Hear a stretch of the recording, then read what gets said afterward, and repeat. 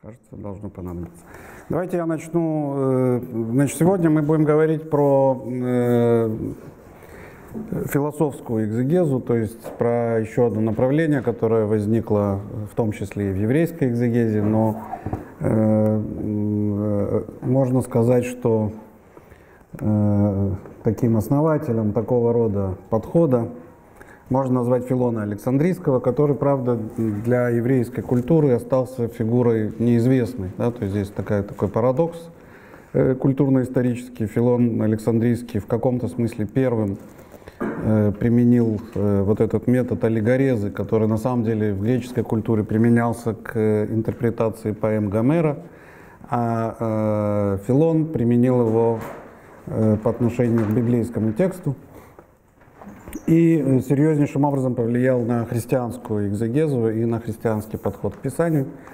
И это более-менее понятно, потому что э, выявление вот этого аллегорического смысла, второго смысла Писания, оно, собственно говоря, из того, что я вчера говорил, наверное, понятно, что для христианской культуры просто находка. Да? Буквальный смысл не годится, значит, нужно искать другой. Как его искать? Ну, например, с помощью аллегореза. Э, Я говорю аллегореза, отличаю ее от аллегории, потому что, в принципе, это более аккуратно использовать именно этот термин, хотя часто говорят аллегория, но аллегория это э, не- некий нарратив, который заведомо построен как э, аллегория. А аллегореза — это попытка выявить в тексте, который неизвестно, написан он как аллегория или нет, выявить в нем э, э, некий дополнительный аллегорический смысл. И поэтому, в принципе, чтобы, э, если стараться быть аккуратным, то лучше использовать вот этот термин в отношении подхода э, к тексту. Э, Ну и Филон, э, давайте прочтем несколько пассажей. Я взял несколько пассажей из его книжки о сотворении мира. И здесь, в общем, сформулирован тот подход, который в каком-то смысле парадигматический, да, который ляжет в основу э, любой, э, любой философской аллегорезы в дальнейшем. Да, несмотря на то, что еврейские авторы Филона самого не знали, но тем не менее их действия, мы увидим, они очень похожи на то, что делает Филон. Это либо переоткрытие того же самого метода, либо косвенное влияние через э, э, соответствующие братские конфессии. Э, Филон говорит так. Из законодателей один просто, э, давайте я скажу вам на какой страничке. Это страничка 20. А, нет, вот что я хотел сказать. Давайте нет, не страничка. Страничка 20, сейчас начнем, но я хотел предварить э, эту историю следующими такими методологическими замечаниями по поводу э, истории изучения библейской экзегезы, еврейской библейской экзегезы. В этой области, на самом деле, можно сказать, что она находится э, в таком детском, детсадовском, в общем, возрасте. Ну, может быть, как и вся иудаика, да, вы знаете, что иудаика, собственно говоря, по сравнению с классическими студиями, это недавняя история, да, это 19 век, начало 19 века, Wissenschaft des Judentums, они объявляют программу изучения еврейских текстов, и цель, в общем, основателей этой программы, она состояла в чем? Она состояла в том, чтобы показать э, просвещенному миру, что еврейская культура не лыком шита. Да, то есть у нас есть прекрасные э, замечательные произведения, и эти произведения нужно показать, нужно показать достижения еврейского духа европейской культуре. Поскольку они были гегельянцами, а именно Гегель говорил о э, движении вот этого духа и его развитии, а еврейскую культуру он поставил куда-то на один из этапов уже давным-давно пройденных, э, эти ребята, несмотря на то, что они Гегелем вдохновлялись, они пытались показать, что Гегель здесь ошибался, и еврейский дух на самом деле бился э, и э, функционировал на протяжении всей истории и добился значительных результатов. Вот эти результаты, если мы покажем, то тогда, с одной стороны, евреи просвещенные как-то поймут э, свою собственную э, самоидентификацию, смогут ощутить в, полноте. Э, И э, просвещенная Европа тоже э, наконец-то э, поразится и запишет евреев э, в свои круги. Вот такая, такой был план.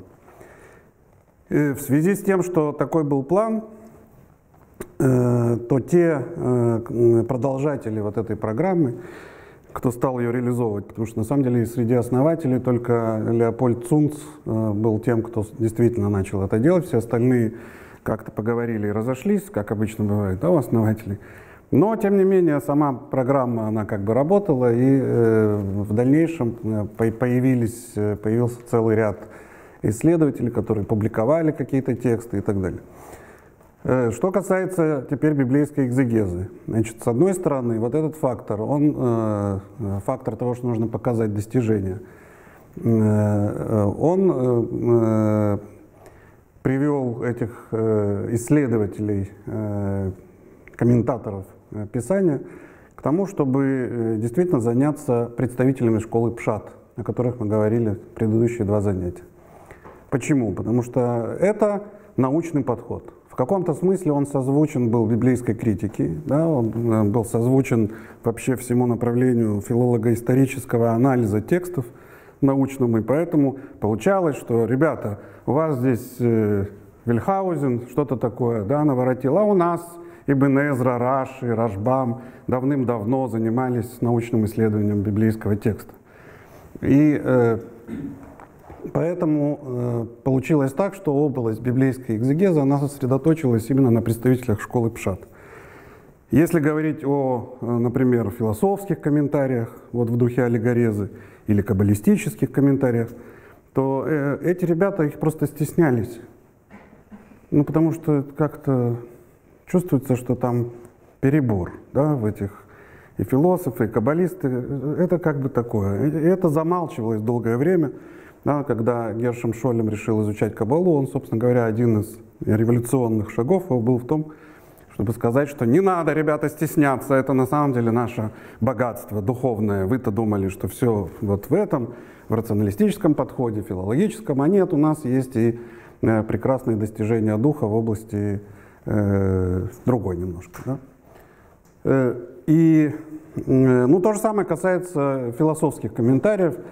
Э, все прекрасно помнили высказывание Спиноза, который говорил э, в богословско-политическом трактате. Спиноза, собственно говоря, да, является таким основателем историко-филологического подхода.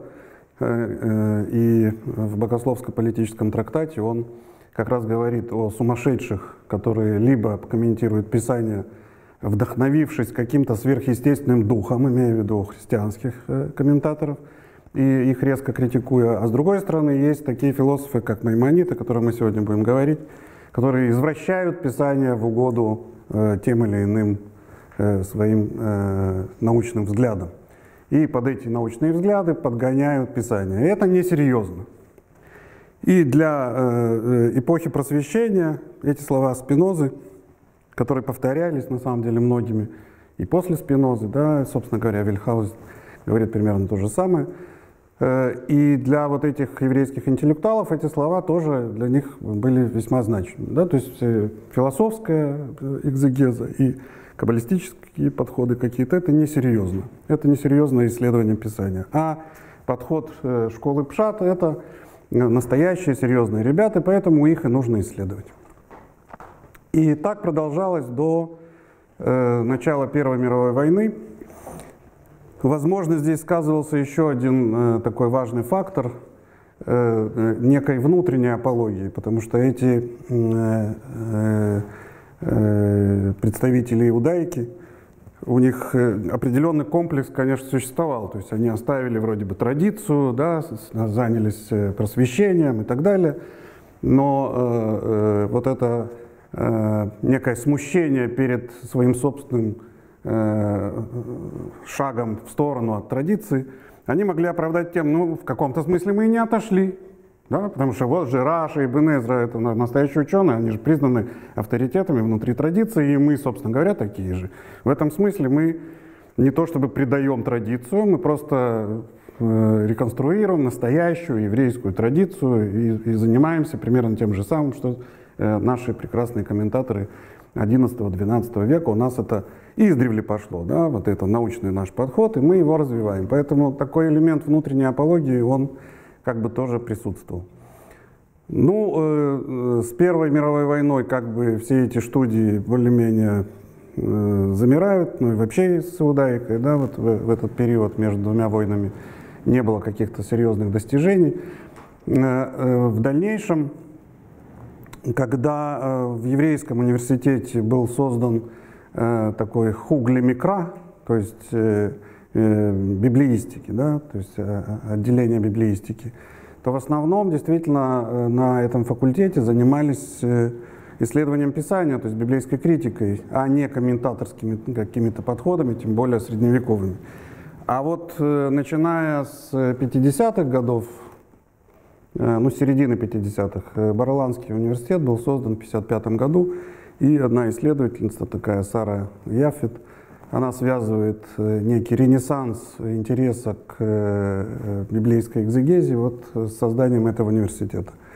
В чем здесь дело? Дело в том, что Бариланский университет это, если вы знаете, такой с религиозным наплывом университет. Ну, в смысле, что туда могут прийти религиозные ребята и спокойно учиться в университете, не предавая, опять же, традицию. Это такой типа, тип совмещения.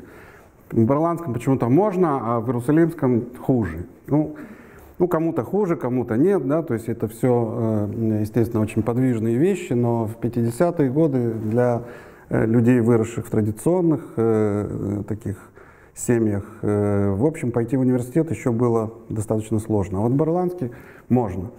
И здесь возникает примерно та же самая ситуация, что и э, у висеншасовцев, да, то есть у тех представителей э, ранней, э, раннего исследования э, иудаики. То есть они, опять же, занимаются не библейской критикой, потому что библейская критика — это ой-ой-ой, да, ну, понятно, это невозможно. А комментаторская традиция нормально. Раши, наши родные, да, Ибн и этим можно заниматься. И снова получилось так, что сосредоточены они на э, исследованиях э, э, школы Пшат, либо сефардской, либо ашкенадской. И, в общем, дело доходит до смешного. Ну, как до смешного? Это же развитие науки, да, то есть, ну, он развивается почему-то вот таким вот образом. Если мы возьмем, если кто-то видел мою статью, э, она там есть в этом списке э, библиографическом, я привел там табличку с э, содержанием нескольких книг, которые посвящены библейской экзегезии. Там примерно пять книг было написано до 80-го года прошлого века, примерно пять монографий. И в этих монографиях мы практически не встречаем ни философской экзегезы, ни каббалистической. Все посвящено представителям школы Пшат. Ну, есть э, введение там, про талмудическую, как бы про талмудический подход, еще что-то, иногда про христианскую экзегезу.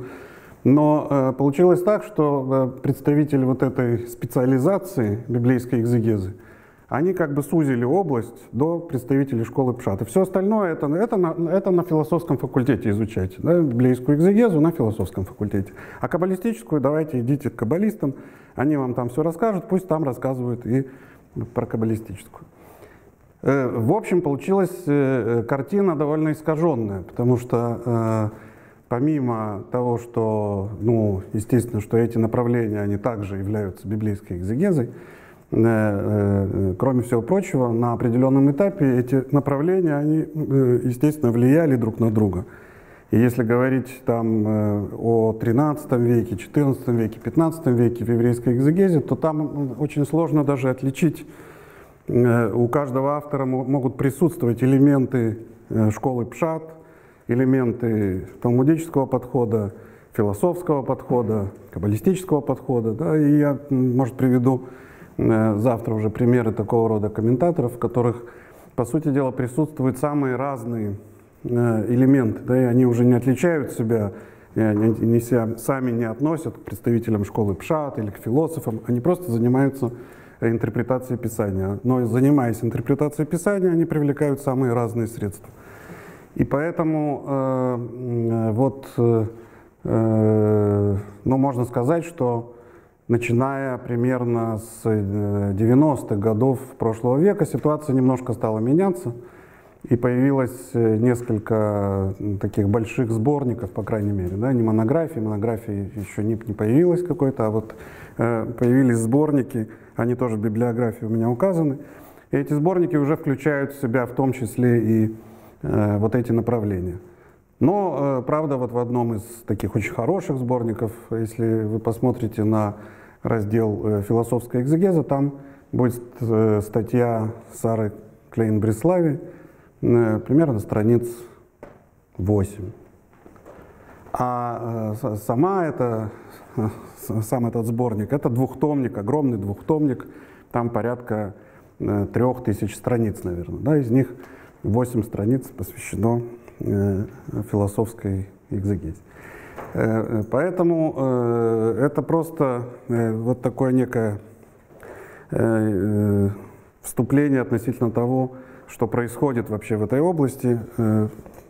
Сегодня ситуация немножко меняется, но в общем она по-прежнему остается э, такой искаженной и ждет еще своего э, исправления и гармонизации.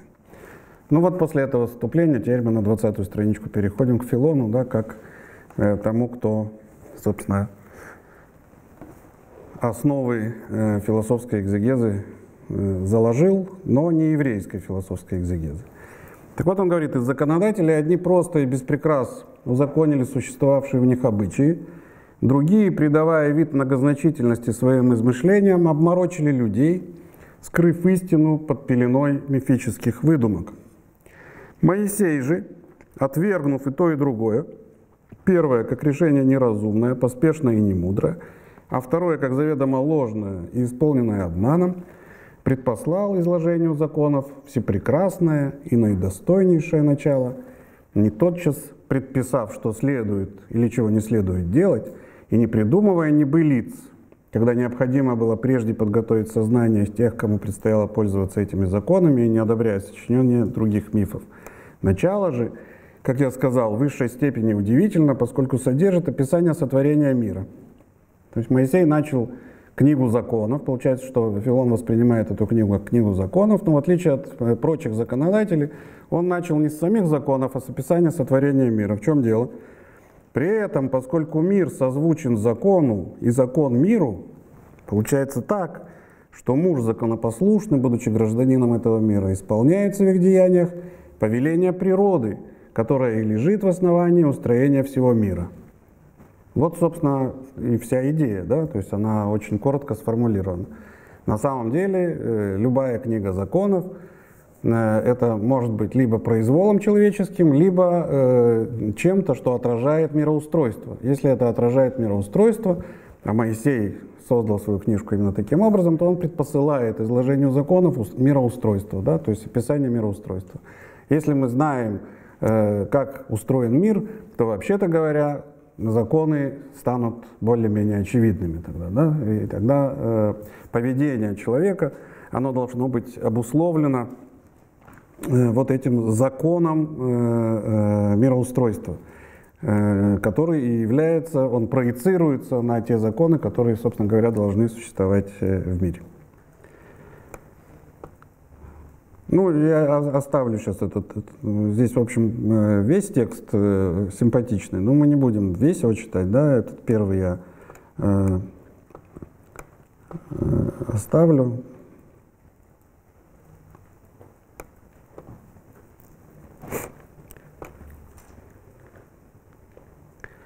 Давайте 23 э, разделчик, это тоже на той же странице, да? 23 э, раздел э, этого сочинения Филона. После всего прочего, как уже было сказано, возникает человек. То есть он описывает сотворение мира довольно подробно, да, то есть его комментирует. И вот возникает человек, как говорит Моисей, по образу Божию и по подобию. Весьма хорошо, что ничто из возникшего не уподоблено Богу более, чем человек. Но пусть никто не представляет это подобие в чертах телесных, ибо ни Бог не имеет вида человека, ни тело человеческое не богоподобно. Об образе же говорится по отношению к водительствующему души уму.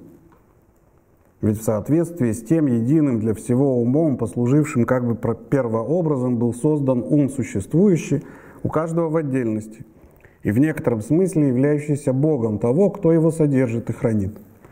Э, видите, он уподобляет э, ум человека Богу, да, то есть э, в этом смысле человек является мини-универсумом, микрокосмом, И э, внутри человека есть тот, кто, собственно говоря, исполняет роль Бога. Это человеческий ум. В, этом смысле э, человек богоподобен, потому что Бог является как бы разумом макрокосма.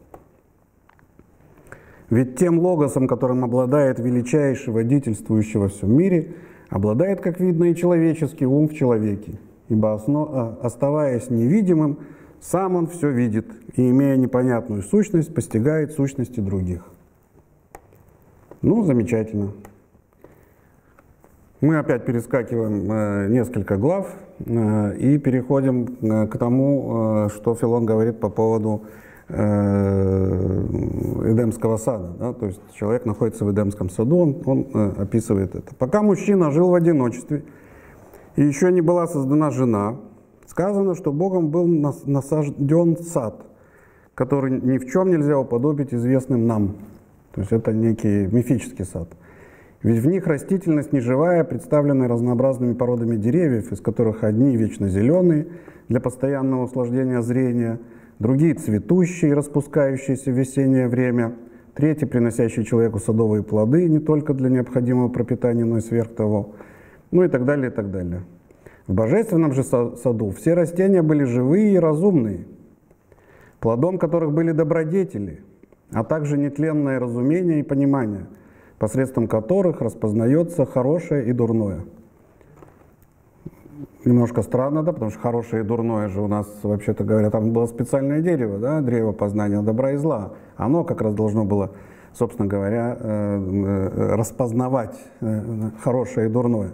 Но для Филона получается, что все эти растения это тоже э, не, не реальные растения, естественно, да, он говорит вам, это вам не, не парник какой-то, да, это вам не, не ботанический сад, а это э, иносказание, которое говорит о различных качествах, да, эти деревья это, э, собственно говоря, качество. Ну хорошо. Дальше в, следующем, э, в следующей главке он говорит, установив все эти пределы в душе, то есть, по сути дела, он предлагает некую, э, ее можно назвать психологической э, интерпретацией. При этом, когда говорят психологический термин психологии, у нас снова возникает целый ряд недоразумений, да, потому что, вообще-то говоря, ну, поскольку у нас есть Фрейд и так далее, да, то мы как бы психологию все сюда. Но в, в античном смысле психология — это просто наука о душе.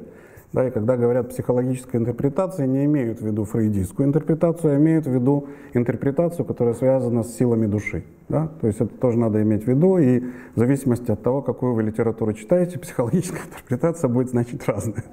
Да, так вот, э, э, в данном случае вот этот, эта филоновская э, аллегория, она является аллегорией психологической в античном смысле, потому что она переводит все образы описываемые в Писании, в некие э, представления о частях души, да, о составе души.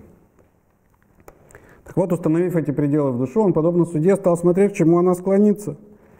И поскольку он увидел, это Бог, что она тяготеет к злодеянию и пренебрегает богопочтением и святостью, от которых э, стяжается жизнь бессмертная, он выставил ее, что было естественно, и прогнал из сада, не оставив неизлечимой, безнадежно согрешающей душе надежды на возвращение, потому что со всей очевидностью было изобличено и то, что послужило поводом для обмана, о чем нельзя не упомянуть. То есть вся эта история да, с изгнанием человека из Эдемского сада, это э, история о душе, которая находилась э, в саду разных качеств, и э, в саду этих разных качеств он как судья решил посмотреть, ну и к чему же будет эта душа склоняться. Она склонилась не туда, и была изгнана из этого э, идеального состояния своего.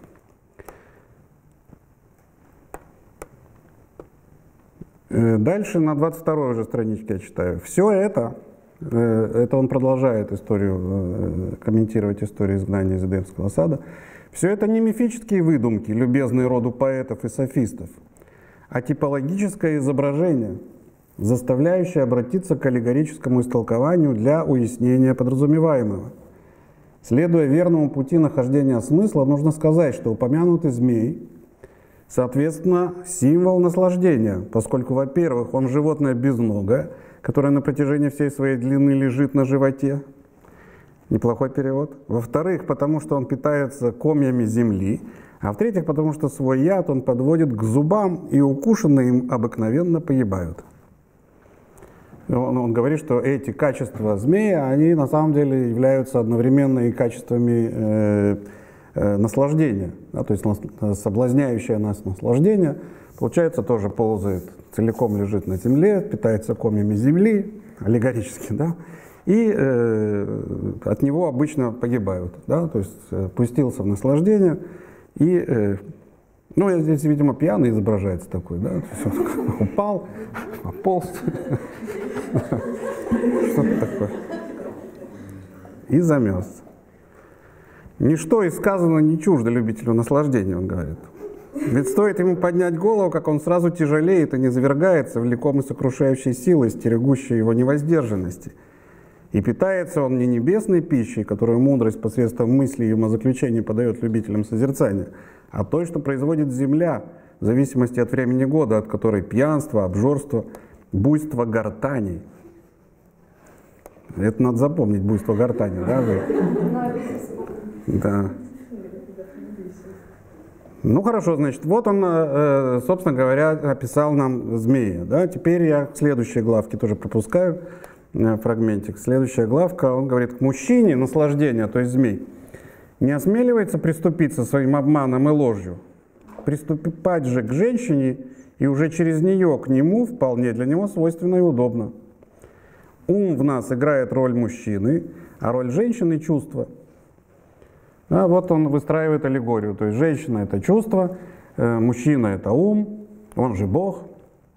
Мы помним, да, или за счет этого, собственно говоря, человек подобен Богу, то есть за счет своего мужского, пусть извинят феминистки Филона, да, Александрийского, сейчас уже можно его заклеймить, конечно, позором, э, но э, поделать уже с этим текстом ничего нельзя, да, мы ничего не можем изменить, то есть мы можем свой написать комментарий, да, наоборот сказать, что может быть ум это женщина, а мужчина это э, наслаждение, Филон просто перепутал, но у него это так, да, у него ум это мужчина, женщина чувство, и тогда наслаждение, оно атакует чувство, естественно, а не ум, не может приступить к уму сразу. Наслаждение первоначально встречает и вступает в общение с чувствами, посредством которых обманывает владычествующий ум. Когда чувства приближаются к его приманкам, воспринимая их и радуясь предложенному, зрение разнообразию цветов и форм, слух стройности звуков, вкус сладости вкусовых ощущений, а обоняние распространяющимся упоительным запахом – они, словно служанки господину, подносят дары рассуждению, приводя убедительные доводы, что, мол, дескать, и пахнет хорошо, и на, на вид приятно, да, и, в общем, все замечательно. И он, тотчас поддавшись на эту уловку, превращается из владыки в слугу. Вот так господин или ум так теряет э, свое владычество, потому что чувство ему э, с помощью серьезных доводов, убедительных, говорит о том, что здесь э, нечто прекрасное стоит сзади, а это змей, да, но который является наслаждением. Ну, собственно говоря, все понятно, да, то есть можно дальше не продолжать, потому что сама логика, она понятна, и вот это то, что называется психологической аллегорезой, да, то есть перенесением Э, образов э, Писания в область, э, и у Филона это почти всегда так, в область, связанную с качествами души или с отдельными силами души. И произведения Филона, которые были написаны на греческом, как я уже сказал, они были восприняты христианской культурой почти с самого начала, да и большинство христианских экзегетов, там, Ориген и так далее, они безусловно, читали Филона и пользовались э, в том числе вот этим его методом. А еврейские комментаторы, по крайней мере, сегодня э, существует такое мнение в исследовательской литературе, э, не знали ничего о Филоне, узнали о нем там примерно в 14-15 веке, не раньше. На самом деле, иногда, когда мы читаем еврейских комментаторов, кажется, что это просто Филон. Но э, доказать, что они э, наследовали тексту Филона или видели тексту Филона, они не каких-то не, не использовали какие-то промежуточные источники, пока, по крайней мере, не удалось. Хотя, э, как мы увидим, э, сходство э, может быть очень большим. Если теперь говорить о еврейских комментаторах, то уже в XI веке мы встречаем э, целую плеяду э, еврейских философов, таких как Авраам Бархия или Шлома Ибн Гвироль или Иуда Олеви, э, которые на самом деле используют элементы. Они не пишут комментарии к Писанию, но в своих произведениях некоторых они используют, в том числе используют аллегорический метод. Э, э, то есть, будучи философами, они интерпретируют как философы Писание, и этот способ интерпретации, он тоже оказывается аллегорезой. Вот фрагментик на 23 страничке, фрагментик из комментария Авраама Ибн Эзры. У Авраама Ибн Эзры мы встречаем несколько цитат Шлома Ибн Гвироля, Э, знаете, наверное, такого, да? Это великий еврейский поэт, там то все. Э, ну и в том числе автор э, одного очень тоже повлиявшего, в том числе на христианскую мысль, произведения «Источник жизни». Комментария к Писанию Ибн Гвироля ну, до нас не, дош, не дошел такой комментарий, но вот в комментариях Ибн Эзра он периодически ссылается на Ибн Гвироля, и, судя по всему, такой комментарий существовал. Э, возможно, не на все книги Писания. Э, и э, комментируя как раз вот этот самый эпизод изгнания из райского сада, или вообще описание райского сада, Ибн Эзра говорит, «Я открою тебе намеком тайну райского сада и рек, и опоясаний». Опоясание — это имеется в виду то, что Бог дал людям после того, как они выяснили, что они не одеты. И не нашел я этой тайны ни у кого из великих, только у раби Шлома ибн Гвироля, да будет благословена память его, ибо он был большим мудрецом в том, что касается тайн души. Видите, тоже э, эту интерпретацию мы тоже назовем психологической, да, в античном смысле слова, потому что э, переносится эта история на э, область э, души. И он э, в таком э, очень телеграфном режиме нам э, передает этот комментарий. Возможно, что сам комментарий был более полным. Эдем — это горний мир. Хорошо. А сад полон ангелических духов, словно растений. То есть вот эти ангелические духи, они похожи на филоновские. Да? Филонов говорит, что это качество души, здесь это ангелические духи, но это точно не растения. Э, словно растений э, полон этот сад. Да? То есть э, само слово, словосочетание Ган-Эден разделяется на два. Да? Сад и Эдем, или Эден. Эден — это вообще горний мир, а сад полон ангалических духов, словно растений. Река как бы мать всех тел. Имеется в виду, что она является первоматерией или универсальной материей. Четыре рукава — это первоэлементы. Мы видим, что здесь он вроде бы сказал про психологическую интерпретацию, да, а сейчас у нас оказывается эта э, интерпретация не совсем психологическая, правда? А такого рода аллегорезу мы назовем тогда физической или метафизической, опять же, э, в античном смысле слова, с точки зрения произведения Аристотеля. Потому что первые элементы, да, или первоматерия, или четыре первоэлемента, это не относится к качествам души, это относится к физике, да, это относится к Э, к мироустройству в общем. Четыре рукава этой руки — это первоэлементы. Человек — это мудрость, которая дает имена. Имеется в виду Адам. Человек — это Адам. Да? А Ева, как показывает ее имя, э, а имя ее Хава, помните комментарий Саади, который говорит, что нельзя это читать как мать всех живых существ, потому что бык рожден не женщиной, а имеется в виду всех живых э, существ, имеется в виду только люди. А здесь э, тоже обыгрывается ее имя, имя Хава от слова хай, жить. Это дух жизни. А змей, Нахаш, это вожделение, как показывает имя Нахаш, происходящее от глагола, встречающегося, например, в стихе Кинахеш, Енахеш. Это Йосеф говорит братьям, что он, в принципе, вы что вы думаете, я разве не догадаюсь, что вы у меня украли? Помните там эпизод, когда э, э, он подкладывает эту свою чашу, а потом говорит, что же вы думали, такой человек, как я, не догадается. И вот это э, созвучие, или нахеш это догадываться, да, оно созвучно слову нахаш, э, змей. э, вожделение э, и догадка непонятно каким образом здесь связаны. Да? Получается, что вожделение и догадка для него является чем-то, по крайней мере, созвучным или схожим. Древо познания — это соитие. Непонятно, правда, соитие кого с кем. Да? При этом здесь э, странная история, да, потому что, вообще-то говоря, э, в еврейской традиции э, нет связи между грехопадением и какими-то сексуальными проблемами. Да? То есть это христианская интерпретация состоит в том, что грехопадение привело в том числе к тому, что произошло соитие и так далее. А Э, еврейские комментаторы говорят, что и до этого там, это вообще ни при чем. Да? То есть соития существовали, в смысле осуществлялись и до этого.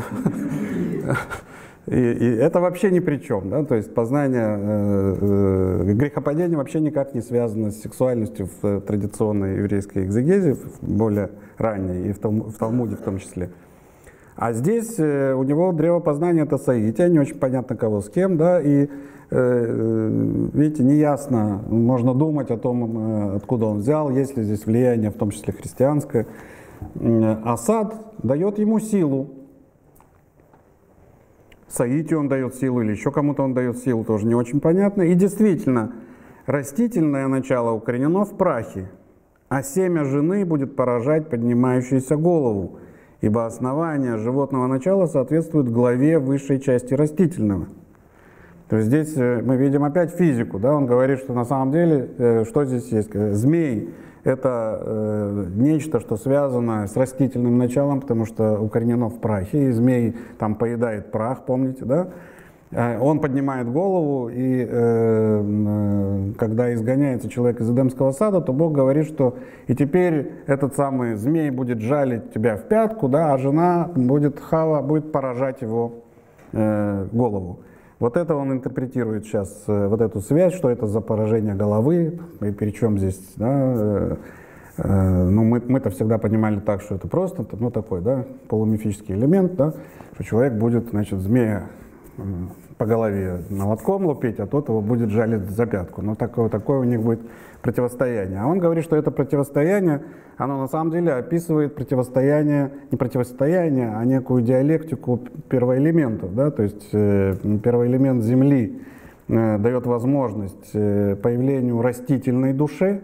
Растительная душа растет из э, праха, да? а животная душа, она находится над ней, онтологически находится над ней. И тогда получается, что голова, ну то есть высшая часть растительной души, она как бы оказывается связана с, с животной душой. А почему Хава связывается с животной душой, он сказал выше, да, потому что ее имя означает э, хай, да, жизнь, и поэтому это животная душа. А поясание — это тело. То есть то, что э, было дано людям, когда они увидели, что они э, обнажены, им было дано тело. Значит, до этого они были бестелесны. И они увидели, что они обнажены, это значит, что они увидели э, что, собственно? Обнаженность своих бестелесных душ, беззащитность своих бестелесных душ. Не очень понятно. То есть вообще этот текст, он, э, вы видите, совершенно туманен, и можно много чего думать по этому поводу и как-то расшифровывать. Э, именно потому, что э, здесь это все приводится в каком-то таком телеграфном стиле. Ну, это характерно, на самом деле, не для Ибн Гвироля, а для Ибн Эзры. Ибн Эзра, когда он начинает говорить о каких-то вещах, которые он знает вот из того, что я назвал «наука и жизнь», да, то есть то, что он начитался, как бы это самое, потому что это как бы, он считает, что, в принципе, журнал «Наука и жизнь» выписывает только несколько ребят. Он один из них, один из подписчиков, да, и поэтому в принципе, он очень таинственно про это всегда говорит, такими очень обрывисто, так, то есть все. В общем, кто читал, тот знает. А тот, кто не читал, тому и не надо. Да? То есть, ты, если ты не подписчик, на, на, на, то, то, в общем, тогда и, и ладно. Вот оставайся в таком недоумении, что, чего, какие первые элементы, кто там соите, кого с кем соите. А знающие люди все прекрасно понимают, да, то есть это у нас для, для таких продвинутых парней. И Адам был изгнан из райского сада, дабы возделывать землю, из которой взят, Ибо в этом вся суть человека. Он здесь намекает, наверное, на что-то, да, то есть он это тоже понимает аллегорически. Э, потому что это Адам был изгнан. Адам же это что у нас? Только что нам говорили? Что такое Адам? Это мышление, да? Он был изгнан из райского сада, то есть откуда он был изгнан? Райский сад это вот эти ангелические духи, да, то есть он из духовного мира был изгнан в мир недуховный, ему нацепили на него тело, да, и теперь он должен возделывать землю, из которой взят. Ну и земля здесь, что такое земля тогда? Возможно, что это самое низшее начало, да, это то, откуда начинает э, расти растительная душа. То есть, э, если предположить, что в журнале, который он читал, написано еще и про минеральную душу, то тогда получается, что человек должен теперь э, э, метафизически что сделать? Он должен возделать эту самую почву, из которой произрастает растительная душа, Затем добиться того, чтобы животная душа тоже была в порядке, потому что она следующая, да, а потом разумная душа, и выстроить вот такую пирамидку. В этом теперь состоит задача человека. И тогда обработка этой земли — это не что иное, как попытка выстраивания иерархии душ правильной, онтологически да, выстроенной, э, которая теперь является э, задачей изгнанного из духовного мира мышления. Да, вы со мной? Все нормально? Хорошо. А древо жизни — это познание горнего мира — и поэтому сказано, древо жизни, она для придерживающихся ее. Это про Тору сказано. А херувимы — это ангелы, а пламенный меч символизирует солнце. Здесь он вообще убил. Солнце. И здесь э, тоже можно сказать, э, не знаю, опять же, это добавка Ибн Эзры или самого э, Ибн Гавироля, потому что у Ибн Эзры, поскольку он, он на самом деле читает в этом журнале, который он выписывает, есть разделы разные, да, то есть есть метафизика, физика, а есть астрономия. Он очень увлекается этим разделом. И поэтому у него неожиданно иногда вот эти астрономические вставки, он целое сочинение написал по астрономии, и поэтому он с этим очень хорошо знаком. И, э, э, ну, вообще для средневековых авторов, э, естественно, что метафизика и астрология, они неразделимы. Это мы теперь знаем, да, в наших журналах это просто две разные, два разных раздела, и поэтому кто интересуется астрономией, интересуется астрономией, а кто метафизика, это, это, самое, это другое дело. А э, у Ибн и интеллектуалов того времени, они каким-то образом смешивались. Но как они смешивались? Э, они смешивались по-разному. Да? Ну, у разных авторов по-разному. И поэтому, например, когда он говорит, что херувимы — это солнце, то Возможно, он имеет в виду вот ту сферу, помните, я вам говорил про эти сферы, да, ту сферу, которая является сферой Солнца, да, а, а, а, а как он располагал эту сферу Солнца и где, это отдельный вопрос. Возможно, что сфера Солнца для него это была последняя из сфер. Если она последняя из сфер, то тогда понятно. Да? То есть сфера Луны, она ближе всего к Земле у них была, а сфера Солнца, ее по-разному э, ориентировали разные авторы астрономических сочинений. Да. А может быть, если он написал по астрономии этот труд, то там может быть каких-то намеков на что-нибудь? Нет, по, по астрономии он в этом э, произведении он практически не касается библейского текста. Он пишет чисто про астрономию, да, то есть э, поэтому, ну, естественно, что хорошо бы, чтобы понимать Ибн Эзру и его комментарии астрономического плана, хорошо бы эту книжку прочитать. Но я могу признаться, что она и мне не очень доступна. Ну, то есть, как не очень доступна? Нужно тогда ну, разложить все эти истории про астрономию, потому что и там это не последовательное изложение, а изложение, э, которое предполагает определенного рода знания. Она переведена, кстати, на русский язык, она называется «Решит Хохма». Э, не, не так давно ее перевели на русский язык, и даже там есть какие-то комментарии, но, в общем, Э, как и любая э, наука средневековая, это надо к этому привыкнуть, скажем так. Э, она так вот сразу не, не, не дается восприятию, потому что, ну, на самом деле, возможно, что любая естественная наука не дается вот так прямо, да, то есть есть нечто очень сильно раздражающее, когда это читаешь, потому что, черт, ну что ж за ерунда какое-то это крутится так, а это вот так, а это вот всяк. Но мы-то уже знаем сегодня, как это крутится в конце концов, да? Э, э, примерно то же самое возникает, когда читаешь, э, например, я когда-то занимался математикой и читал книжки по истории математики. И нужно иметь ну, очень специфический вкус, чтобы читать э, из истории математики что-то. Там просто бред какой-то невозможный. У нас же сейчас все понятно, все так ясно. Да? Берешь логику. Э, возьмите логику Аристотеля. Да? То есть если просто взять учебник формальной логики, все понятно. Да, раз, два, все готово. Начинаешь читать Аристотеля, ничего не понятно. Ну, там в примечаниях переводят это на язык формальной логики. А, теперь я понял. Ну, хорошо. А вот так вот э, не очень.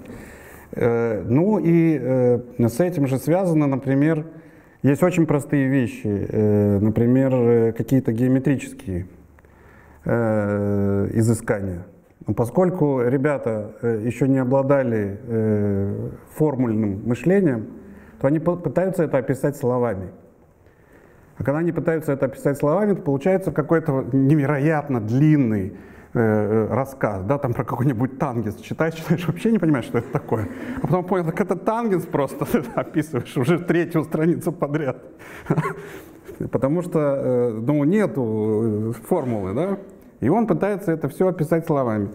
В этом сложность, да, в этом сложность как бы исследования средневековых сочинений в принципе, но те, у кого вкус к этому есть, ну или можно выработать к этому вкус, да, э, то тогда все замечательно. Почему все замечательно? Это я вам так в скобках объясняю. Потому что на самом деле действительно людей, которые сквозь это продерутся, их мало. Потому что если вы все-таки продрались, то вы сразу на коне. Это потому что никто больше не знает это. Ну, например, астрономию там, ну как никто, 3-4 человека, 5.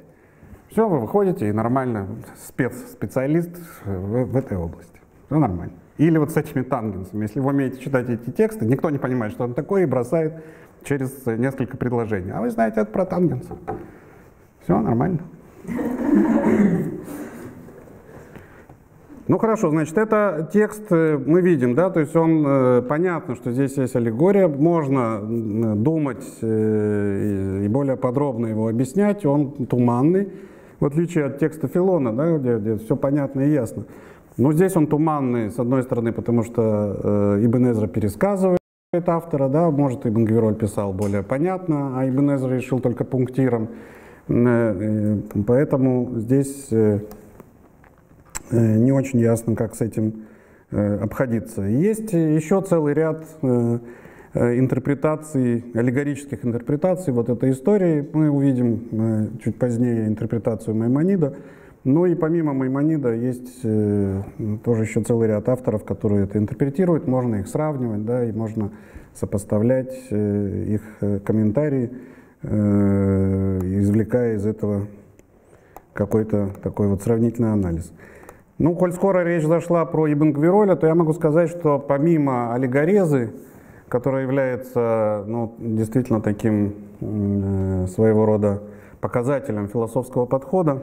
На самом деле, э, мне кажется, что прежде чем говорить об аллегорезе или вместе с тем э, разговором об, об аллегорезе, который обычно ведут э, исследователи, нужно говорить о так называемых структурных соответствиях, которые используют комментаторы э, философского э, направления.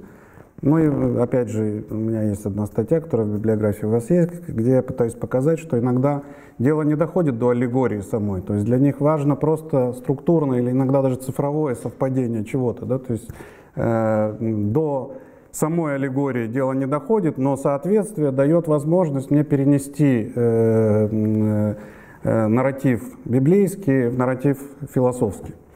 И вот такого рода схематизм мы сейчас увидим у Ибн Гвироля в другой его книжке. Это книга об исправлениях качеств души. Э, он, как неоплатоник, большое внимание уделял психологии, опять же, в античном смысле. Да? И вот он пишет такое произведение, где пытается связать как раз э, с одной стороны физику, а с другой стороны психологию. Да? И сводит характер человека, у него там серьезная классификация такая самых разных э, человеческих э, характеров, которая связана с, со смесью первоэлементов и э, соответствующих жидкостей. Да? То есть вот эта физиологическая картина, она связана в том числе с историей про первый элемент. И вот здесь он, маленький фрагментик, он говорит, надо сказать, что Бог, да будет Он возвеличен и возвышен, создал протяженность макрокосма на основе четырех природных элементов. Так что он возник из четырех известных элементов. Вместе с тем создал микрокосм на основе четырех элементов и создал в нем кровь, да, э, сингвус, соответственно воздуху, желтую желчь, холи, соответственно огню, черную желчь, меланос, холи, соответственно земле, и слизь, флегма, соответственно воде. Ну, вы видите, да, здесь психологические типы, типа флегматик, сангвиник и так далее. Вы, наверное, все это знаете. Это, собственно говоря, идет от средневековой э, э, э, физиологии и медицины. Да? И вдобавок создал Всевышний его, то есть человека, цельной формой и складным телом. То есть вот эти четыре первые жидкости, первые элементы, они являются как основой создания макрокосма, так и основой создания микрокосма и создал в нем пять чувств. И вот эти пять чувств э, он э, э, соотносит в дальнейшем с соответствующими элементами и жидкостями. Но прежде чем это сделать, он решает истолковать один из стихов из книги «Экклезиаст». Соломон сказал, на это намекнул Соломон. Соломон знал прекрасно да, все это, все эти жидкости, первые элементы и так далее, и на это намекнул в следующих словах. И еще я увидел под солнцем, говорит Соломон, что не тем, кто легок бег, не тем, кто силен война, не у мудрых хлеб, и не у разумных богатства, и не у знающих благоволения, но срок и беда постигают всех. Прекрасные слова Соломона поэтические. Э, Ибн Героль заявляет, что в этих словах он намекнул на строение э, первоэлементов, соответствующих жидкостей и чувств человека. Сейчас посмотрим как. И еще я увидел под солнцем, это то, что можно охватить постижением. Ну, нормально. Вот и увидел я под солнцем намек на то, что постигается. Хорошо. И сказав не тем, кто легок бег, он намекнул на обоняние. Как на обоняние? Не тем, кто легок бег. Как, как здесь, какой намек на обоняние? Ну, читаем дальше. Которая осуществляется через нос, ибо бег происходит за счет вдыхания воздуха извне, чтобы ввести естественное тепло из тела. Почему? Ну, ужас, ну, я же говорю, надо привыкнуть к этому. Нормально, сейчас мы начинаем понять, так, не тот, кто легок, бег, почему? Потому что он дышит, он дышит, и это намек на обоняние. Получается так. Ну хорошо, и сказав не тем, кто силен война, намекнул на слух. Как на слух? Почему на слух? Не тот, кто силен война. Ибо, как мы знаем, война это грохот. Как сказано, клик битвы встань. Вот еще есть э, у нас э, подтверждение того, что война это грохот. А сказав не у мудрых хлеб, имел в виду вкус. И, и здесь об этом сказано явно, ну, потому что хлеб. Да. И сказав и неуразумных богатства, подразумевал чувство понимания. И это одно из внутренних чувств, заключенных в природе души. Понимание, размышление, постижение неуразумных богатств. При этом он не говорит, что такое богатство. И сказав и не узнающих благоволения, намекнул на зрение – Ибо знание достигается не иначе, как тщательным изучением книг и постоянным изысканием в сборниках поэзии и прозы. Тут кто-то добавляет в квадратных скобках. Возможно.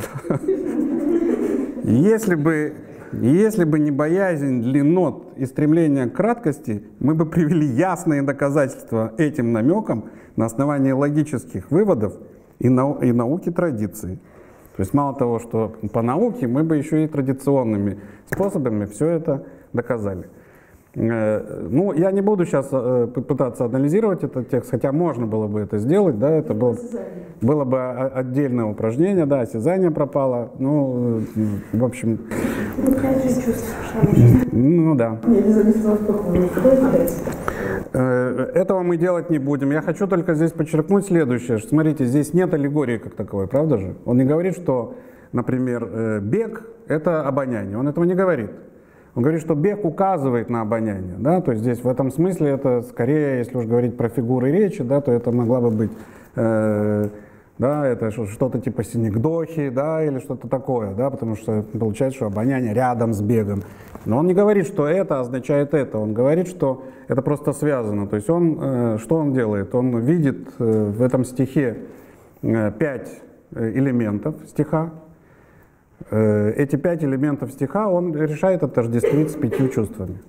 Дальше он, начинается его герменевтическое усилие, как это сделать. Да? Мы видим, что нас это сегодня не убеждает, но он, он сказал, ребята, если было время, я бы вам объяснил, вы бы убедились, что это так. Но у него времени нет, он просто как бы намекает, но при этом э, для меня важно подчеркнуть здесь, что аллегории как таковой не создается, а создается просто некое соответствие. Э, и здесь, с одной стороны, присутствует элемент э, мидрашистского приема, потому что как раз в мидрашах очень характерно для э, мидрашей это раз, разбиение текста на определенные блоки и довольно произвольное толкование каждого из этих элементов.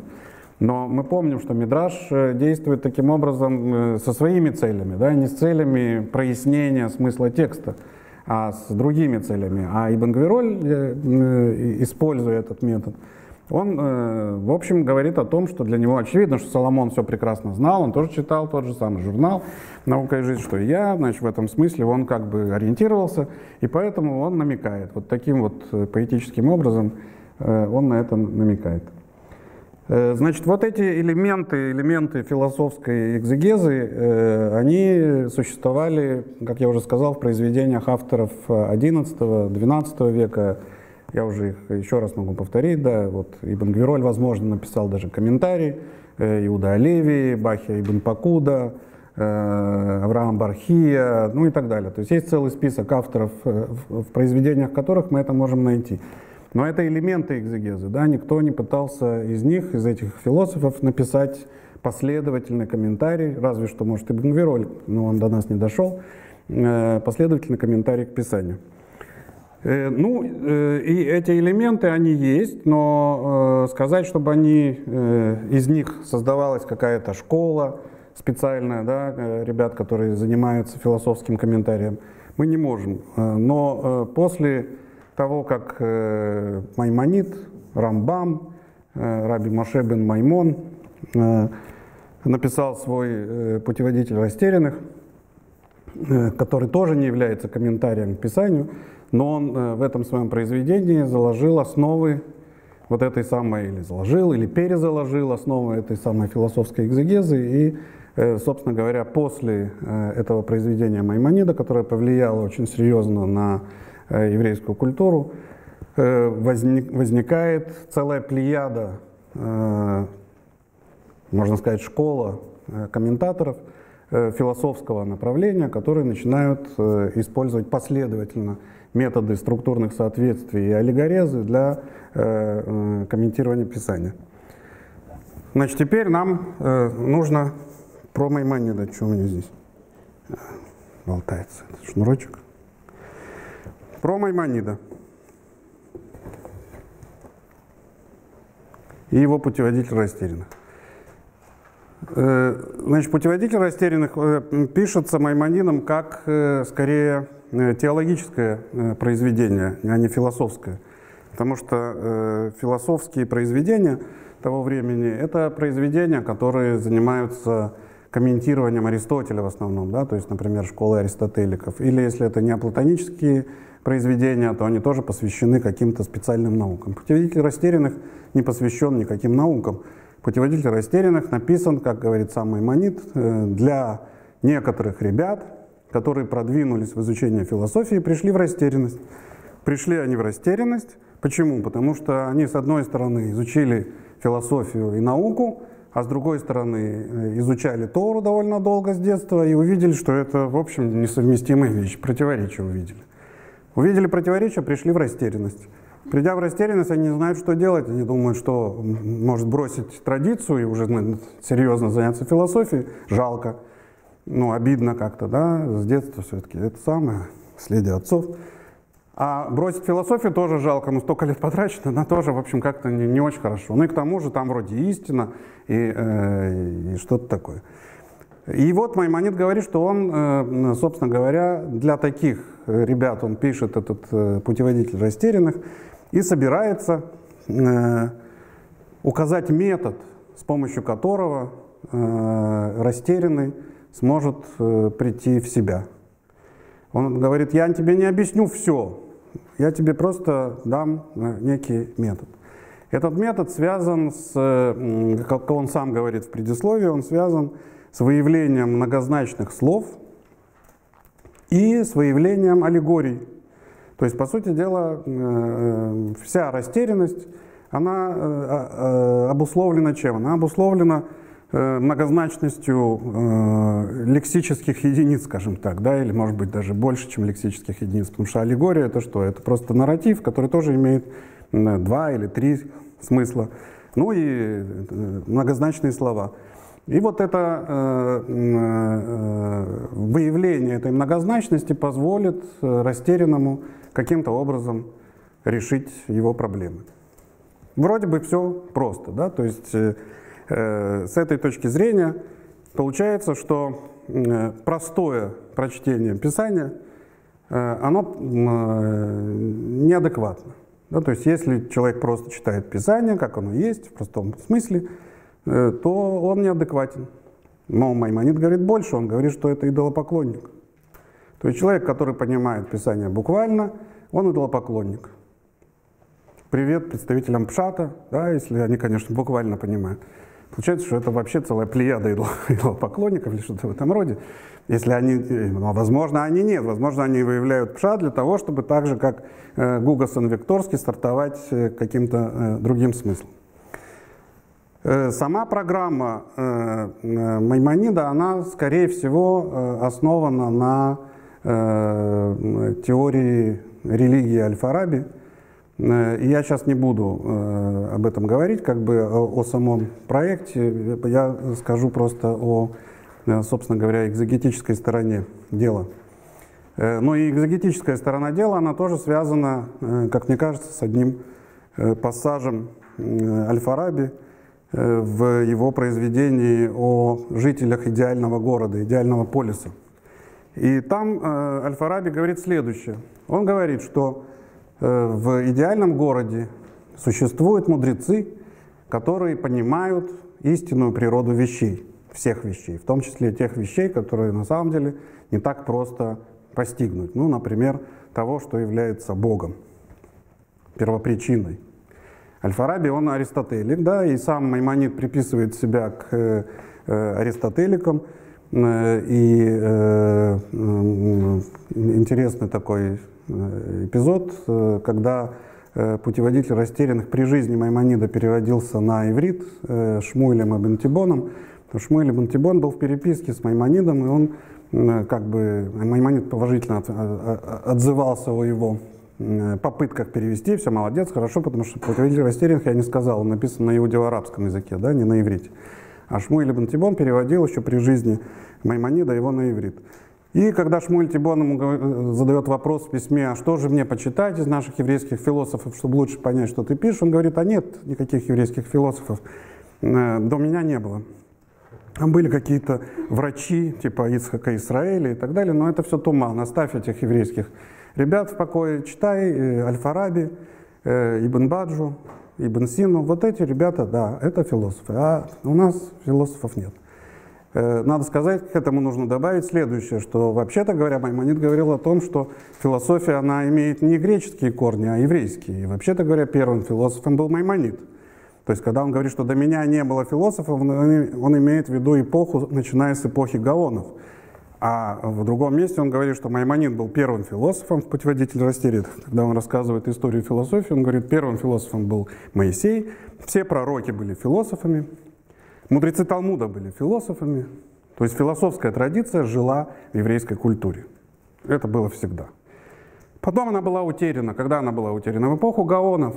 В эпоху Гаонов, ну, Саади, вот эти все эти ребята, короче, э, исказили иудаизм, потеряли философское знание. Грекам это философское знание каким-то образом пришло от евреев. И вот начиная с эпохи Гаонов, это искажение, оно, собственно говоря, приводит к искажению э, иудаизма, которое Маймонид собирается исправить. В этом смысле он, когда говорит, что нет до меня философов, он говорит, что э, нет э, э, философов, начиная с эпохи Гаона. Да, но если Моисей был философом, и пророки были философами, и мудрецы Талмуда были философами, то как же они это философское знание формулировали, спросим мы. А вот так и формулировали. Да, то есть вот то, что они написали, пророческая литература, талмудическая литература, она содержит в себе, помимо того, что она говорит на явном уровне, сокрытый смысл, который является философским. Почему они говорили таким образом? Вот здесь мы возвращаемся к Аль-Фараби. Аль-Фараби говорит, вернулись к Аль-Фараби, да, э, все нормально, хорошо, что мы вернулись к Аль-Фараби, чувствуете? Нормально, вернулись к Аль-Фараби. Аль-Фараби говорит, что мудрецы в идеальном э, полисе э, знают истины, как, какими они есть на самом деле. Их ученики знают их со слов мудрецов в некоторой образной системе, в изложении некоторые, ну, они как-то каким-то образом излагают. И эта образная система, она близка к тому, что из себя вещи представляют на самом деле. А ученики этих учеников, они знают это еще более отдаленным способом. Ну и так далее. Получается, что у нас есть э, ряд образных систем, которые описывают истину, как она есть на самом деле. Почему, собственно говоря, так происходит? Ну, потому что не все ребята готовы к восприятию истины, поэтому приходится объяснять простыми словами, ну, какими-то, да, с помощью простых примеров, более простых, менее простых. И дальше Аль-Фараби говорит следующее. Из учеников тот парень, который э, воспринимает истину с помощью определенной образной системы, он э, на определенном этапе понимает, что эта образная система э, что-то не то, не годится. Она не годится, и тогда учитель может его перевести к более близкой к истине образной системе. Если он найдет и в ней некие, некое несоответствие, то он продвинется дальше. И тогда он говорит, именно тот ученик, который все время критически подвергает каждую следующую образную систему Э, атакует ее, да, он и способен к истинному э, постижению. Получается такая картинка. Да, вот у меня, предположим, истинное положение дел. Вот у меня образная система, номер один. Ее э, знают близкие к мудрецам, мудрецы знают вот это. Да, а близкие к ним вот с помощью образной системы. Есть другая образная система и так далее. Есть, наконец, совсем уж для женщин и детей образная система. Ну, Тора. Да? Написано на языке, как бы. Но эта образная система, она настолько далека от истины, что, в общем, история не, не очень хорошая. Да? То есть они как бы знают и не знают. В, в каком-то смысле Маймонид говорит про них, что они являются идолопоклонниками. Он говорит, что мы и у женщин, и у детей должны вырывать с корнем представление о том, что Бог — это дядя большой, который сидит на небе. Антропоморфные представления о Боге нужно вырывать с корнем у женщин и детей даже. Потому что это идолопоклонство. Но как вырывать с корнем? Вырвать с корнем можно э, на самом деле э, таким образом. То есть э, нужно каким-то способом вручить человеку образную систему, которая описывает, пусть отдаленно, истинное положение дел, но заронить в нем некое сомнение по отношению к этой образной системе. Тогда он сможет перейти к э, более близкой образной системе и так далее. Если мы э, воспитываем ученика, который видит недостатки образной системы более близко и так далее, тогда он дойдет до уровня великого мудреца. Собственно говоря, этим и занимались мудрецы Талмуда и пророки. Они давали образную систему, но вместе с тем еще умели как-то устно, потому что это же не сделаешь письменно, надо сделать устно. И они устно э, как-то обрабатывали свою аудиторию, говорили, да, ну да, здесь вроде про верблюда и осла, а на самом деле это материя, туда-сюда. Да, ты понимаешь. Ну, намеками, вот как и Бенезра тоже пытается, да, кому-то сказать. И, так, и таким образом, собственно говоря, традиция и существует. То есть она э, э, является, по сути дела, э, комплексом образных систем. И тогда можно сказать, что сакральный текст э, Тора с точки зрения Маймонида который научился этому Аль-Фараби. Аль-Фараби не говорит про Коран, это ничего, да, но Маймонид переносит это на Тору, и получается, что Тора — это э, слои, слоеная капуста, да, в смысле э, огромное количество слоев образов, которое предназначено для разного уровня аудитории. Одна, одна аудитория может понять одно, другая может понять другое, и таким образом э, постепенно, да, сейчас, и постепенно можно прийти, собственно, к истинному осознанию вещей, да.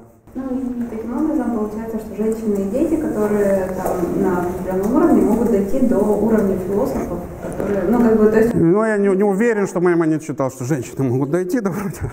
Но опять же, мы не будем же сейчас, да. Такая логика, в принципе, это возможно. В принципе, возможно, да. В принципе, возможно, да. Дети, если подрастут, а, а женщины, если возмужают. Возмужавшая женщина, в принципе, может э, да, дойти до представления об истине. Э, значит, э, здесь важно следующее, да, то есть вот это представление, представление о наличии большого количества слоев, мы говорили с вами про уровни, да, это не то же самое совсем, правда? То есть, когда мы говорили о разных уровнях, там сокрытый уровень, анагоги и так далее в христианской экзегезе, это не то же самое, потому что здесь Э, эти образные системы, они как бы накладываются одна на другую, да, и, и снимают э, снятие одной образной системы и предоставление другой, это некий э, своего рода длительный процесс.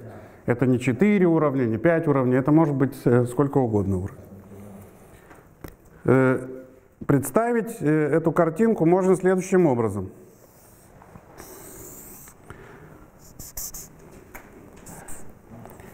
Давайте представим, что вот это у нас Тора, да, это у нас наука, то есть философия. Потому что философия, мы помним, да, что философия это комплекс наук средние века, да, и в античности. Я не говорил про это, но вообще надо сказать, да, что когда мы говорим про философию, мы имеем в виду не то, что сегодня имеется в виду под философией. А, кстати, что имеется в виду под философией сегодня? Несколько же значений. Как мировоззрение, как методология. Ну да, ну хорошо, да. Да, как мировоззрение, методология, ну так, что-то такое, да, то есть что-то такое неясное. Но, но э, в античности и в средние века философия это просто комплекс наук о мире. Да, то есть это все науки. Туда же входит музыка. Любовь к мудрости, да, в целом? Ну, да, это даже не любовь к мудрости. Любовь к мудрости это тоже можно понять как некое э, э, такое обтекаемое понятие. А э, там вот астрономия, например, вот этот журнал «Наука и жизнь», да, это на самом деле он называется философия. Я его назвал «Наука и жизнь», а он на самом деле называется философия. И там все, там математика, там астрономия, там музыка в том числе, да, и музыка тоже входит туда же. Э, и поэтому, когда я говорю здесь э, философия, то я подразумеваю все науки в целом. Так вот, Тора, вот, предположим, это простой смысл, буквальный смысл, да, буквальный смысл – Э, про него э, Маймонид говорит, что тот, кто читает Тору таким образом, он идолопоклонник. Почему он идолопоклонник? Потому что в Торе написано, например, что Бог гневается, или Садя говорил, да, что Бог огонь пожирающий. Маймонид согласится, что такого не может быть, это, это противно разуму. Когда я понимаю это, что Бог не может сидеть, гневаться, э, протягивать руку и так далее, я выявляю некоторые фрагменты такого рода, и я их читаю каким образом? Когда я понимаю это? Я понимаю это, когда я чуть-чуть продвинулся в миропостижении, правда? То есть изучение наук — это миропостижение. Хоть чуть-чуть женщина и ребенок да, подняли голову, посмотрели на мир, увидели, что это не так, и поняли, что Бог не может быть э, антропоморфным. И я тогда, вот у меня другая образная система, теперь вот эти кусочки я прочел иносказательно. Да? Я прочел их иносказательно. Маймонид э, говорит следующее, что тот, кто успокоился на этом, является идолопоклонником. Безобразие какое-то. В чем же дело? А в том дело, что если он поднялся на более высокий уровень, то он и, и в этом теперь тексте находит какие-то проблемы. Есть другие проблемные места. Нашел проблемные места, нормально, и эти теперь уже проблемные места истолковал иносказательно, применяя, предположим, ту же самую аллегорезу. Ну, можно теперь вздохнуть, нормально, теперь все понял. Нет, говорит Маймонид, если он успокоился, то он э, идолопоклонник. Ну, э, на самом деле мысль для средних веков, э, в принципе, невероятная. Да? Потому что тогда получается, что, вообще-то говоря, ну, этот процесс как бы бесконечен, но для средневековых авторов этого не может быть, тем более для аристотеликов. Поэтому, по-видимому, Маймонид где-то конец видит. Но с другой стороны, э, вот этих шагов, их может быть достаточно много. И сама идея, она э, превращает э, аллегорезу, смотрите во что, аллегореза теперь является не ключом, который открывает мне прочтение, да? а это является временным ключом. То есть на самом деле у меня должен быть целый набор ключей. И я должен уметь пользоваться первым, вторым, третьим и так далее. То есть я, применяя эти разные ключи, я все время поднимаюсь э, в прочтение Торы. То есть я, э, э, у меня прочтение Торы и познание мира начинают коррелировать между собой. То есть в каком-то смысле получается, что вообще-то говоря, мир изучаемый, здесь же я что изучаю? Я изучаю мироустройство. Вот это мироустройство, это в каком-то смысле и есть то, что является Торой, то есть указанием. И вообще-то говоря, человек должен был бы исследовать мир, возможно. Ему не нужна была бы тогда никакая Тора. Помните Филона? Он говорит, что э, закон мира и закон э, жизни человека на земле, они в каком-то смысле совпадают сейчас. Э, поэтому для Маймонида это та же самая идея. Да? Он говорит, что вообще-то говоря, вот она, собственно говоря, Тора. А эта Тора была дана человеку в помощь. Какую помощь? Теперь он может как бы соотноситься. Да? Исследовал мир, прочитал, что-то не то. А, теперь понял то. Или наоборот, Тора его заставляет там чего-то. И вот в этой корреляции между изучением мира и изучением Торы, э, человек продвигается к чему? Продвигается к истинному постижению вещей. То есть в этом тексте, несмотря на то, что его простой уровень, буквальный уровень, граничит с идолопоклонством, в нем содержится на самом деле и э, указание на истинное положение вещей, которые человек э, может выявить. Да, вопросы. А определение а, проблемных мест тут в данном случае совпадает с тем, которое мы вводили в самом начале, с несоответствием разума, внутренним противоречием и так далее? Э, не совсем. Мы, мы сейчас, я скажу сейчас об этом, да, то есть, э, если успею, конечно. Опять у меня остается 10 минут, но сейчас, э, может быть, э, два слова об этом я скажу. Э, о принципах, да. А может ли быть такая ситуация, что предыдущие ясные места на каком-то следующем уровне снова стали проблемными. То есть это наследование не идет. В смысле наследование не идет? Что оказалось, что то, что было проблемным, стало нормальным? Оказалось, что, что, было, что было ясным, ну, как бы, чем больше мы узнаем, тем больше мы понимаем ограниченность нашего знания, все затемняется. Ну, ну, у Маймонида, по крайней мере, этого нет, естественно. Да? У Маймонида есть все время вот это движение к просветлению. То есть каждая следующая образная система, которую я получаю, она является более близкой к э, истинному положению дел. То есть получается, что, э, по идее, не идолопоклонник, он никогда не останавливается в своем познании. Он вообще высказывает? Именно. Именно так. Да. То есть получается, что теперь смотрите, как, как хорошо звучит путеводитель растерянных. Он говорит, что вообще нормальные ребята это только растерянные. То есть растерянность это и есть, собственно говоря, то, э, то качество, которым должно обладать наша комьюнити, вообще-то говоря. А, а сам Маймонид, что он делает? У него же нет вот этой стрелочки, которая является э, э, ну, устным э, восприятием э, своей аудитории, да, к которой он обращается, и которой он может, обратившись, указать на то, каким образом там, заронить сомнения. Тогда получается, что способ его создания путеводителя растерянных – это способ, который, с одной стороны, дает некие намеки на э, прочтение, а с другой стороны, одновременно – закладывает, должен да, заронить сомнения. Именно это он пишет, что ты сможешь понять то, что я э, пишу, только сравнивая разные части, вскрывая противоречия. Но эти противоречия, они заложены в его книжке для того, чтобы, собственно говоря, ввести читателя не только вывести из растерянности, но и ввести в растерянность следующего уровня.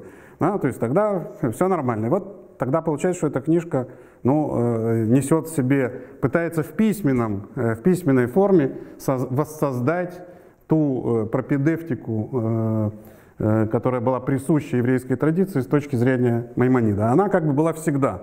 Да, мудрецы Талмуда рассказывают какие-то вот эти нам басни, там, туда-сюда. На самом деле имея в виду некие философские истины, которые просто э, регулярному э, слушателю рассказать невозможно, но намекнуть на это, да, или дать какое-то представление об этом э, вполне возможно. Значит, то, что, что является для, э, я отвечаю на вопрос, что является э, для Маймонида главным Э, для выявления вот этих темных мест. Да. Э, действительно, э, главным для выяснения темных мест является противоречие чему? Противоречие теперь уже не разуму в простом смысле, да, не области чувств, как у Саади Гаона, а философскому знанию. Ну, то есть, когда я продвинулся в изучении мира, мироустройства, когда я вижу несоответствие между описанием Торы и э, своим знанием философским, это, собственно говоря, и является тем, что порождает интерпретацию этих мест. Э, и э, получается, что у Маймонида вот этот метод аллегорезы, как я уже сказал, да, он а, оказывается, я это называю убегающей аллегорией. Э, он не столбит аллегорию, да, то есть не, не, невозможно создать аллегорию, которая забита гвоздями. Да, то есть когда Э, например, э, Филон говорит, что э, змей — это наслаждение, да? а Адам — это разум, а Ева — это чувство. Все, да? все, все ясно. Мы разобрались, теперь все понятно. У Маймонида это не так. Ну, по, по крайней мере, по мысли это не так, да? То есть получается, что здесь возможны несколько вариантов прочтений, и у нас уже сегодня, я вижу, что нет времени для этого, я хотел Э, показать, собственно говоря, эти два, э, ну, в этих текстиках, э, которые у вас здесь есть, мы можем это увидеть. Здесь есть два, две интерпретации, например, истории того, как Яков видит лестницу. Да? Вот эта лестница, и ангелы по ней спускаются и поднимаются. И Маймонид дает, собственно говоря, в самом путеводителе растерянных есть две интерпретации. Есть еще одна интерпретация в его э, книжке Мишнетора, то есть всего у него три интерпретации вот этой истории. Э, но э, вот эта разница интерпретации, она, как мы видим, зависит не, то есть она не соответствует трехчастному или четырехчастному прочтению текста Торы, вот тем уровням, да, о которых я говорил вчера. Наверное, надо сказать несколько слов про дальнейшее развития э, вот э, этого метода. Э, с моей точки зрения, вот то, что мы видим у Маймонида, эту убегающую аллегорию, то есть аллегорезу как некую побудку скорее для последующих интерпретаций, а не как законченное некое целое, в еврейской традиции практически не было понято. То есть те его ученики, а именно Шмуэль и Бентибон, Э, который перевел путеводитель растерянных. Э, и надо сказать просто про Ибн Тибонов в два слова. Да? То есть семья Ибн Тибонов – это семья переводчиков. Иуда Ибн Тибон э, – это вторая половина XII века. Он жил в Андалузии, и он переезжает в Прованс на определенном этапе, и он переводит большое количество текстов с иудео-арабского на иврит. А его сын Шмуэль Ибн Тибон, вот он переводит «Путеводитель растерянных», и тоже э, не только его и так далее, а его сын Моше Ибн Тибон переводит э, Авероиса, то есть Ибн Рушда на э, иврит и так далее. И так возникает, собственно говоря, э, ивритная философия, которая пишется уже на иврите, да, начиная с 13 века. Евреи начинают писать э, философские произведения на иврите, а до этого в основном писали на иудео-арабском.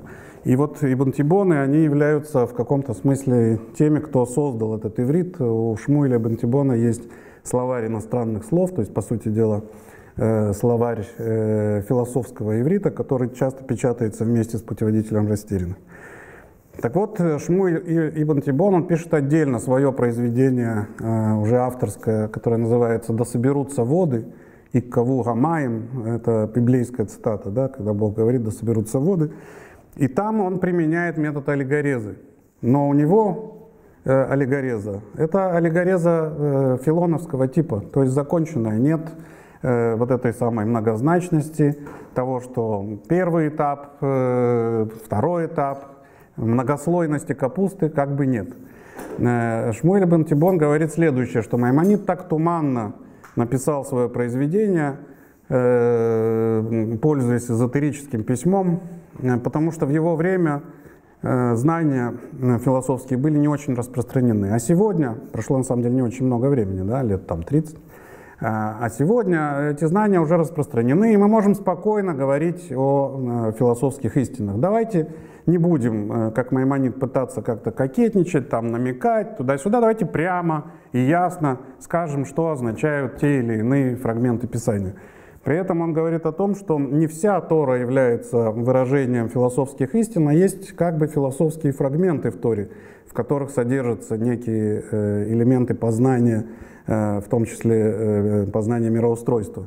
Это Маасе Берешит, то есть это первые главы книги Берешит, которые рассказывают нам о сотворении мира. Это Маасе Меркава, это видение Ихескеля, да, мы его знаем э, по песне БГ, э, в кратком изложении, да, «Вол, исполненный очей», вот это, э, это Маасе Меркава, это книга Йова, которую я тоже хотел рассказать, как ее Маймонид комментирует и его последователи, но мы это уже, видимо, не успеем.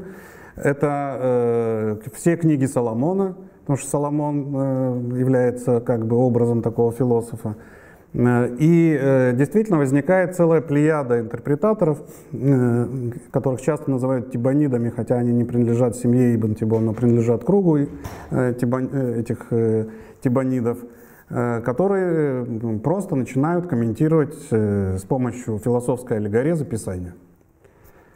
Это приводит э, к определенным неприятным результатам, в том числе, потому что один из э, таких авторов э, в Провансе, некий Левий бен Авраам, недавно как раз был двухтомник опубликован его вот этих философских аллегорических комментариев, научное издание, в смысле, недавно было опубликовано таким Хаймом Крейселом, где, например, Авраам понимается как форма, Сара как материя, э, и он об этом пишет явно. да, э, Колено Израиля — это э, знаки зодиака, ну и так далее. Да? То есть там очень много вот таких вот соответствий.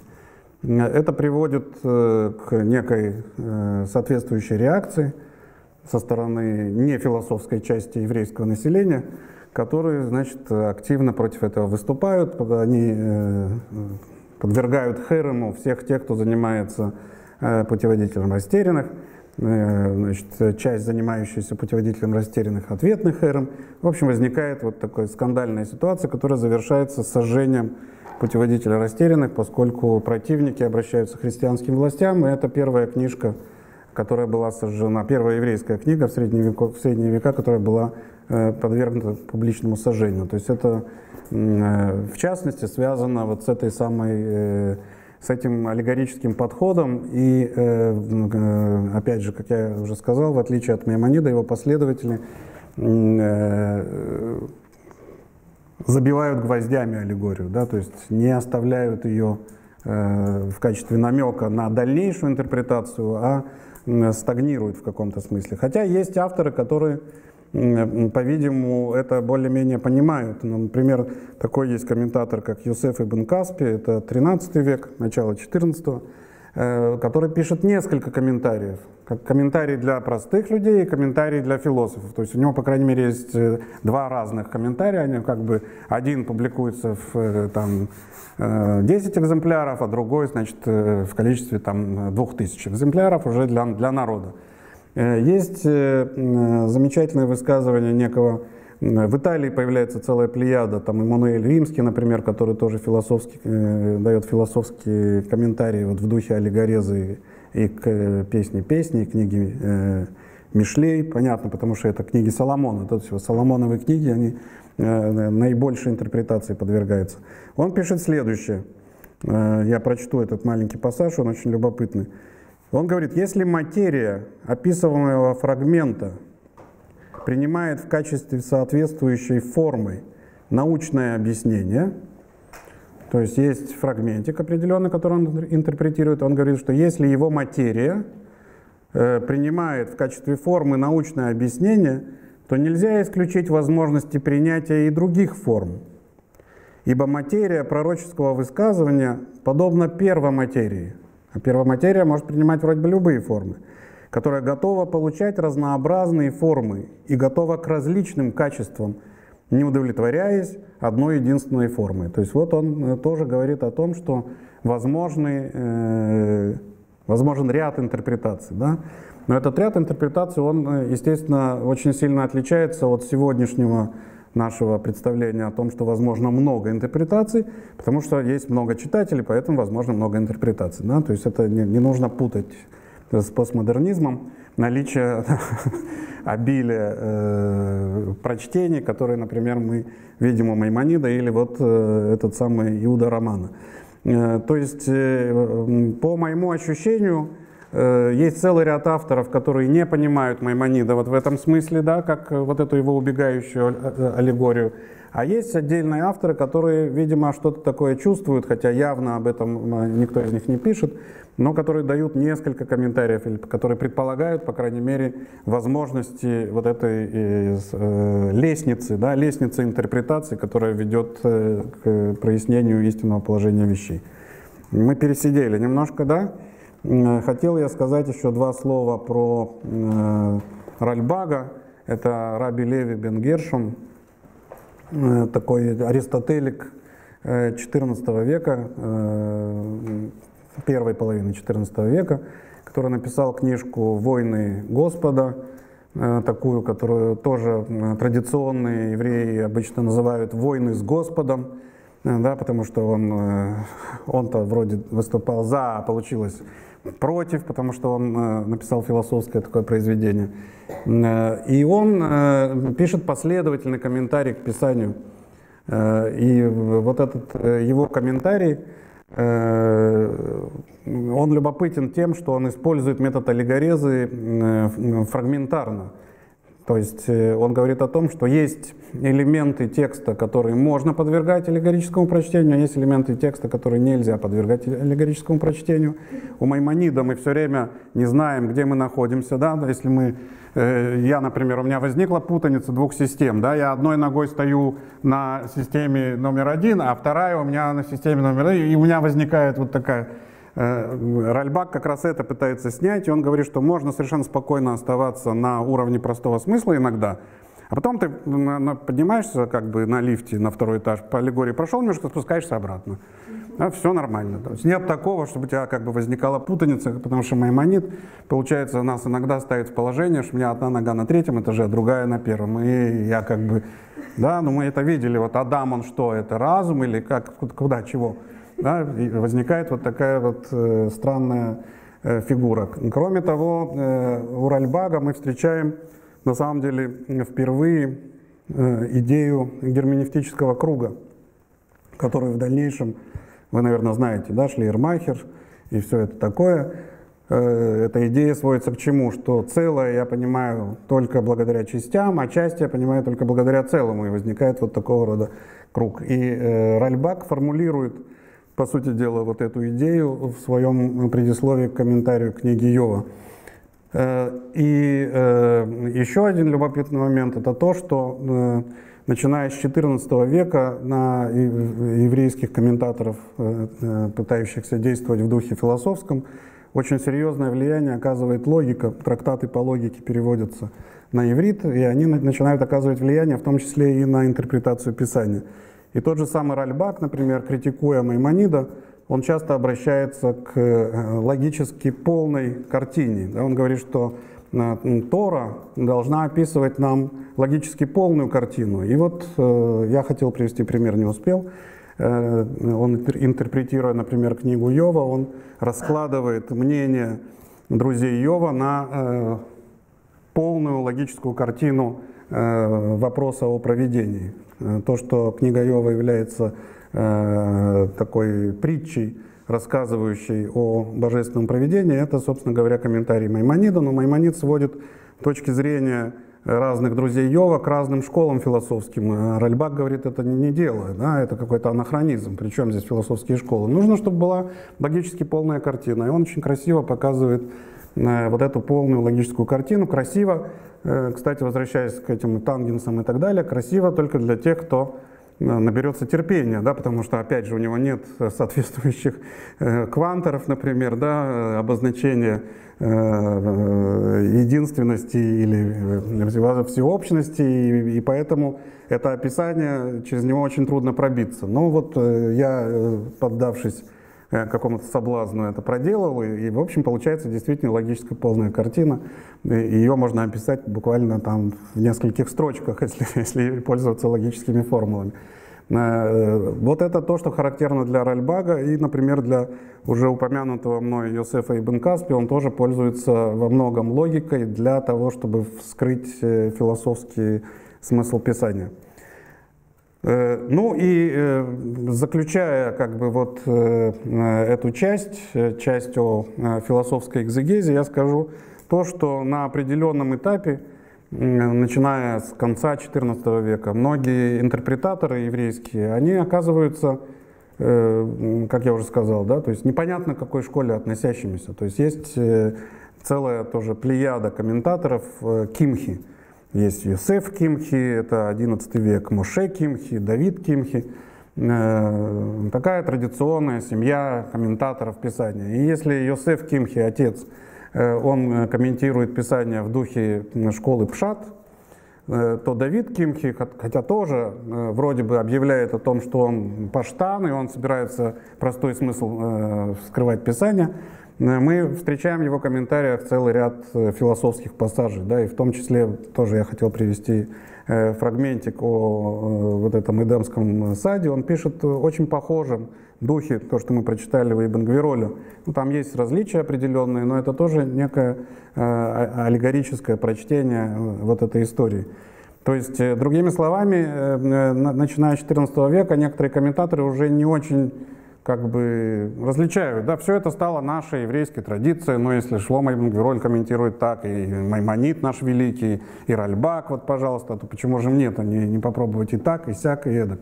И э, в этом смысле границы э, вот эти школьные э, метода чистого, они начинают размываться, и многие комментаторы э, оказываются одной ногой там, другой здесь, там может такой эпизод, так, и эдак, и то, и все. То есть э, возникает такой э, синкретизм определенный этих самых подходов, и их уже сложно различить. Ну, все, на этом я извиняюсь, что задержал.